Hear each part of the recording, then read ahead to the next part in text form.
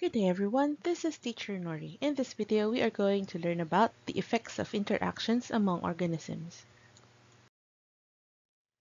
First, let us review some of the terms that we need to know. Ecosystem. It is an area where living things interact with their environment. Population. The number of organisms of the same species in an ecosystem. Species. The kind of organisms in an area. Niche it is the role and position of a species in the environment. A species niche includes all of its interactions with the living and non-living things of its environment. This is the level of organization in an ecosystem. Producers can make their own food, like plants and algae. Primary consumers eat producers. They are herbivores, like carabao and butterfly. Secondary consumers eat primary consumers. They are carnivores. Tertiary consumers are also carnivores and they eat secondary consumers. Carnivores in an ecosystem can change their niche depending on what organisms or what animals they eat. While omnivores can either be a primary consumer, a secondary consumer, or a tertiary consumer, again, depending on what organism they eat. And the last one is the decomposers. These are organisms that break down dead or decaying matter. Examples of these are fungi and worm. Interdependence. All organisms in an ecosystem depend upon each other. The rise and fall of the population can affect the rest of the organisms. This interdependence can be illustrated using a food chain. A food chain is the sequence of transfer of matter and energy in the form of food from one organism to the next. If we intertwine different food chains in an ecosystem, we will form a food web. The introduction of new plants or animals through human intervention in an ecosystem can also have irreversible effects. Example of this is the introduction of the janitor fish in the Pasig River ecosystem. Initially, it was done to, to eliminate the sludge forming at the bottom of the river. But since the janitor fish multiplied um, in a faster pace than the natural or original uh, animals in the ecosystem, then they took over some of the tasks or the niche of the other animals and replaced them, which altered the organization of the food chain in the ecosystem. The nutrients in the soil can determine the kind of plants that can grow on it, and the kind of plants in an area can help determine the kind of animals that can live there. This is an example of a food web found in an estuary. And these are examples of food chains from the food web given. This is an example of a food web in a forest. And these are some of the food chains found in the given food web. Competition. All plants and algae that perform photosynthesis in an ecosystem compete for light, space, water, and mineral from the soil. Animals in an ecosystem compete for food, mates, and their territory. Organisms that receive more of these resources tend to grow more healthy and are more likely to have offspring. Competition can be interspecific or between different organisms of different species, or it can be intraspecific, where the competition happens between organisms of the same species. Stable communities.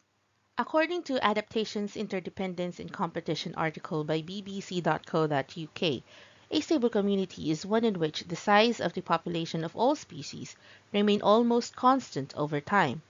If we consider the sample food chain, stonefly larva is eaten by a small fish, and the small fish is eaten by a heron. The small fish helps control the population of the stonefly larva, while the heron helps control the population of the small fish. If the stonefly larva population decrease, so will the number of small fish and heron. If the population of the small fish increase, it may lead to the decrease or extinction of the stonefly larva population in that area and an increase in the number of the heron. Abiotic factors. The presence of different organisms in an ecosystem and its distribution is affected by abiotic factors. These include light intensity, which is the amount of light the organism is adapted to receive.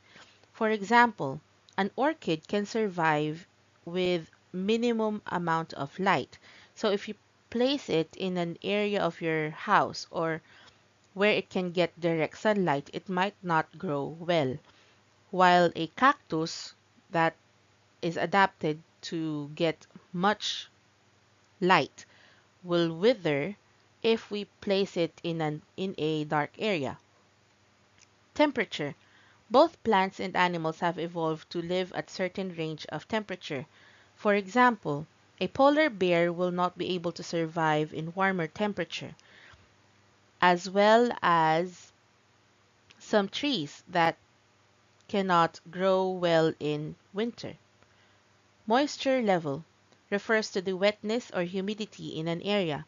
For example, a pitcher plant will not grow well if it grows if you let it grow in an area that is relatively dry.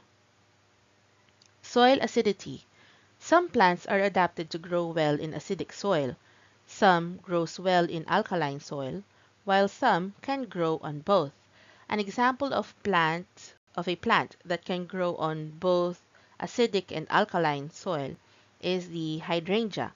The color of the flower of a hydrangea plant can indicate if the soil it is planted on is acidic or alkaline. Water acidity. Aquatic animals have also adapted to certain levels of acidity in water. For example, a frog will survive in an acidic environment better than a salamander. Soil mineral content. Many plants require high levels of minerals to grow well, while some have evolved to catch insects to supplement the low levels of minerals in the soil where they grow. Wind intensity and direction. Many organisms prefer more sheltered locations. That is why they will they tend to survive better inside a forest than on its edges. Carbon dioxide levels for plants. High levels of this gas can make plants grow healthier, and that is one of the reasons why we release carbon dioxide to plants that we grow in a farm oxygen levels for aquatic animals. Healthy lakes and rivers have high levels of dissolved oxygen. In this case, we can see or we can look for bioindicators to check for water pollution.